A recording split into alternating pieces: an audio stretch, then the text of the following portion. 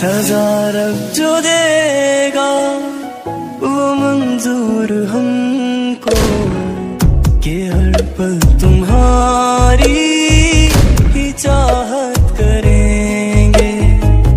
तुम्हारे सिवा कुछ ना चाहत करेंगे। के जब तक जिएँगे